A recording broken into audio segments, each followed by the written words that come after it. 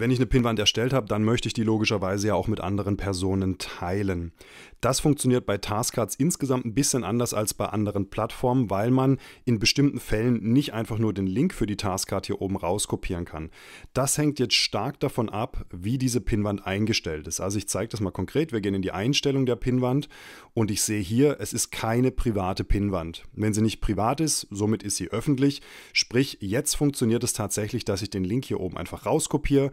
Ich gehe mal in einen anderen Browser, wo ich nicht in Taskcards eingeloggt bin, tippe das mal hier ein und ich kann sehen, das hat jetzt wunderbar funktioniert.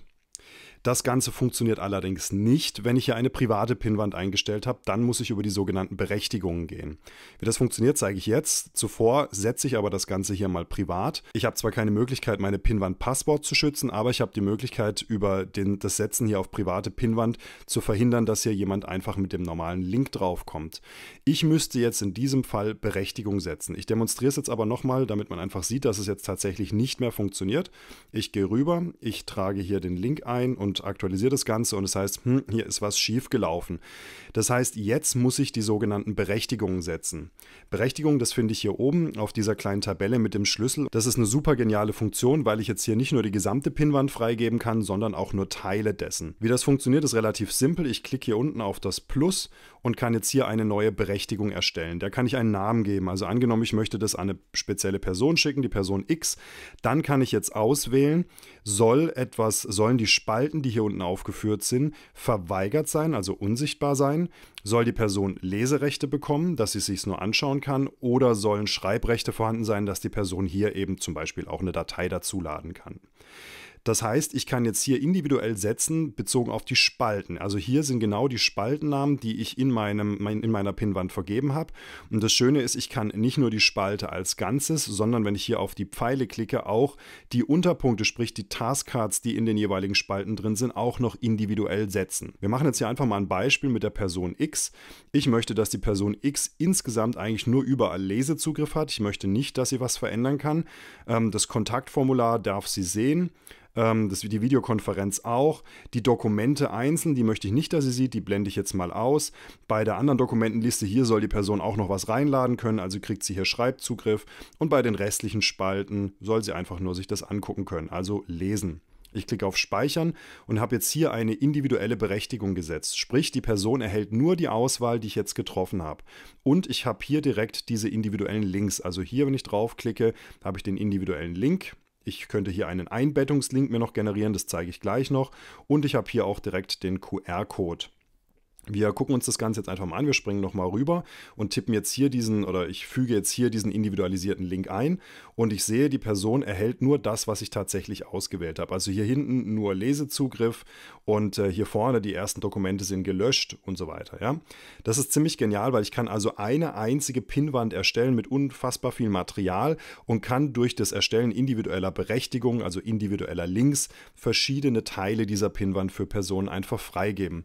Das ist genial, wenn ich zum Beispiel mit anderen Autorinnen zusammenarbeite, dann kriegen die natürlich Schreibrecht auf alles. Die Teilnehmer von meiner Veranstaltung zum Beispiel, die erhalten dann überwiegend nur Leserechte, außer zum Beispiel in Spalten, wo sie vielleicht selber ein Ergebnis oder ähnliches hochladen sollen.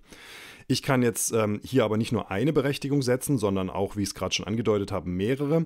Das heißt, ähm, die Person Y zum Beispiel, die soll jetzt komplett andere Rechte erhalten.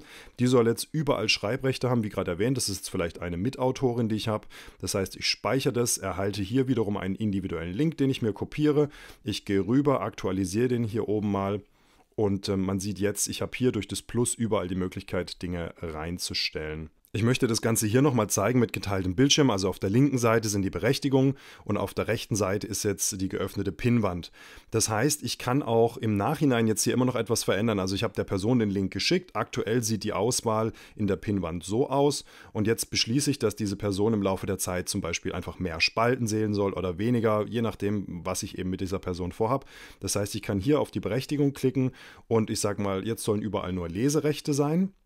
Das heißt, ich wähle hier global Leserechte und ich möchte, dass die Spalte 1 zum Beispiel gar nicht mehr angezeigt wird, die 3 auch nicht mehr, die 4 auch nicht mehr. sagen wir mal, wir möchten nur Spalte 2.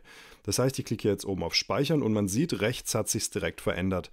Das ist eine super geniale Funktion, wenn ich zum Beispiel in einer Fortbildung oder in einem Unterricht bin und ich habe eine riesen Materialsammlung und ich möchte das Stück für Stück freigeben, dann kann ich das hier über die Berechtigung tun. Und das Geniale daran ist, dass ähm, ich den Link dadurch nicht verändere. Sprich, der Link ist immer der gleiche. Ich habe am Anfang einmal den Link oder einmal den QR-Code geteilt, je nachdem, wie ich es mache, und kann dann hier hin und her schalten. Ist eine richtig, richtig schöne Geschichte.